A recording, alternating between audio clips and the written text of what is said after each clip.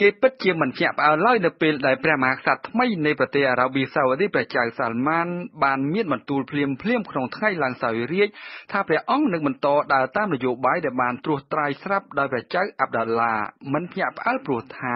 វាជានយោបាយមួយដែលបានកំពុងបន្តធ្វើឲ្យអារ៉ាប៊ីសាអូឌីស្គាល់ស្ថិរភាពនិងសន្តិភាពមកដល់សប្តាហ៍ថ្ងៃ តែនេះមិនមែនមានន័យថាព្រះចៅសាល់ម៉ាននឹងមិនធ្វើអ្វីទាល់តែសោះក្នុងនាមជាថ្នាក់ដឹកនាំប្រទេសនោះទេ វាពិតណាស់ថាក្នុងនាមជាប្រទេសស្ដេចប្រេងកាតចំណូលចំនួន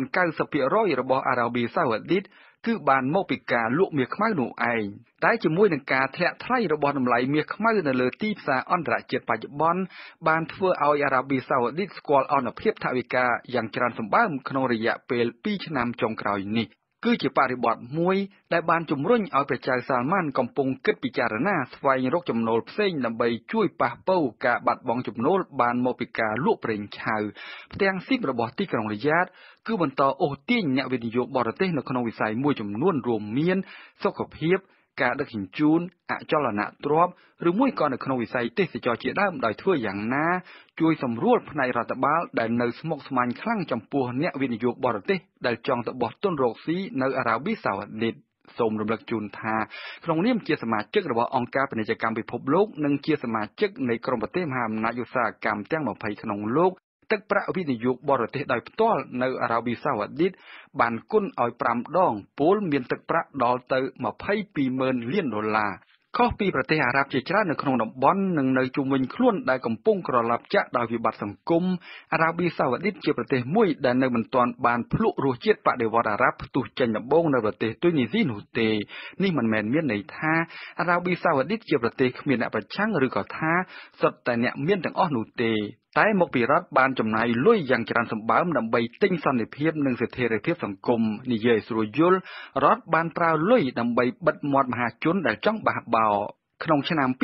2011ពលជួនចំពេលដែលពិភពអារ៉ាប់កំពុងអុកឡុកដោយបដិវត្តអារ៉ាប់នៅទុយនីស៊ី យេម៉ែន អេស៊ីប លីប៊ី និងបន្តមកប្រទេសបារ៉ែន អតីតព្រះមហាក្សត្រព្រះចៅអាប់ដាឡាមិនញញើតនឹងបញ្ចេញលុយចំនួន130,000លានដុល្លារដើម្បីចាយវាយផ្នែកសង្គមផ្សេងផ្សេងចូលកុំភ្លេចថាពិតមែនតែរដ្ឋបានបាត់បង់ចំណូលយ៉ាងច្រើនក្នុងរយៈពេល2ឆ្នាំចុងក្រោយដោយសារតែតម្លៃប្រេងឆៅធ្លាក់ចុះក្តីតែអារ៉ាប៊ីសាអូឌីតនៅសល់លុយដុល្លារបំរុងយ៉ាងណែនហោប៉ៅពលមានដល់ទៅ75ម៉ឺនលានដុល្លារឯណោះនេះដោយនៅមិនទាន់គិតពីធនធានប្រេងក្រោមដីដែលអារ៉ាប៊ីសាអូឌីតកំពុងមានសពថ្ងៃនេះទេ អញ្ចឹងហើយបានជានៅពេលនេះស្ដេចប្រេងកាតមួយនេះនៅតែក្រអឺតក្រទមនឹងបន្តអនុវត្តនយោបាយប្រេងដែលអនុម័តដោយព្រះចៅអាប់ដាឡាពលគឺបន្តរក្សាកម្រិតផលិតកម្មប្រេងរបស់ខ្លួនឲ្យនៅដដែលទោះបីជាតម្លៃបន្តនៅទាបក៏ដោយគោលដៅរបស់ទីក្រុងរីយ៉ាតគឺសម្រាប់ស្ដេចប្រេងកាតកំពេចកំពុកដែលកំពុងរស់ដោយពឹងតែលើចំណូលបានមកពីការលក់ប្រេងឆៅនៅក្នុងតំបន់មជ្ឈិមបូព៌ារបបដឹកនាំនយោបាយនៅក្នុងប្រទេសអារ៉ាប៊ីសាអូឌីត មិនត្រឹមតែមិនសូវខុសគ្នានឹងរបបដឹកនាំនយោបាយនៅក្នុងប្រទេសអារ៉ាប់មួយចំនួនប៉ុណ្ណោះទេ តែថែមទាំងផ្ដាច់ការនិងរំលោភសិទ្ធិមនុស្សជាងប្រទេសក្នុងតំបន់ខ្លះទៅទៀតអ្វីដែលលេចធ្លោជាងគេគឺការបំបិទសិទ្ធិស្ត្រីព្រោះចូលកុំភ្លេចថាអារ៉ាប៊ីសាអូឌីតជាប្រទេសតែមួយគត់ក្នុងលោក ដែលស្ត្រីភេទគ្រប់រូបគ្មានសិទ្ធិបើកបររថយន្តទេ មួយវិញទៀតស្ត្រីណាដែលចង់ធ្វើការ រៀបការឬមួយក៏ធ្វើដំណើរទៅណាមកណា គឺត្រូវសុំការអនុញ្ញាតជាមុនពីសមាជិកម្នាក់ស្និទ្ធនឹងឪពុកម្ដាយដែលមានភេទជាបុរសទៀតសង្គមអារ៉ាប៊ីសាវ៉ាឌីតជាសង្គមដែលមានការរើសអើងចំពោះស្ត្រីភេទពិសេសពួកអ្នកកាន់សាសនាអ៊ីស្លាមនិកាយស៊ីអ៊ីតដែលមានភាគតិចមានការរើសអើងរឿងសាសនា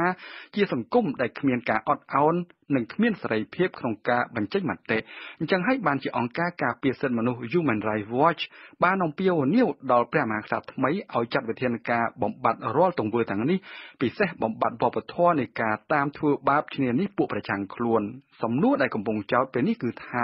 ហេតុអ្វីបានជាគ្រប់ប្រទេសប្រចាំលោកបែរជានាំគ្នាបិទភ្នែកបិទមាត់ចំពោះរឿងរំលោភសិទ្ធិមនុស្សនិងបែរជានាំគ្នាចាយចង់ថ្នាក់ថ្នមអារ៉ាប៊ីសាអូឌីតទៅវិញពិសេសគឺអាមេរិកដែលតាំងខ្លួនជាបិតាគោរពសិទ្ធិមនុស្សនោះ។អាចមានចម្លើយពីរសំខាន់ទី1មកពីអារ៉ាប៊ីសាអូឌីតជាប្រភពដង្ហើមធម្មពលដ៏សំខាន់ដែលគ្មាននរណាហ៊ានប្រើសម្ដីខ្លាំងជាមួយនិងទី2មកពីអារ៉ាប៊ីសាអូឌីតជាប្រទេសសម្ព័ន្ធមិត្តមួយក្នុងតំបន់ដែលប្រចាំលោកត្រូវការដើម្បីជួយកម្ចាត់ពួកជ្រុលនិយមក្នុងតំបន់ពិសេសគឺពួកជីហាតនៃអង្គការរដ្ឋអ៊ីស្លាមនៅអ៊ីរ៉ាក់និងស៊ីរីជាក់ស្ដែងនៅពេលនេះនឹងបើទោះបីជាជាប់រវល់យ៉ាងណាក៏ដោយ ក៏ថ្នាក់ដឹកនាំក្រាក់ក្រាក់ល្មមល្មមនិងតូចតាចមកពីគ្រប់ទ្វីបកំពុងបន្តកន្ទុយគ្នាទៅសម្ដែងកាន់ទុកព្រះចៅអាប់ដាឡានៅអារ៉ាប៊ីសាអូឌីត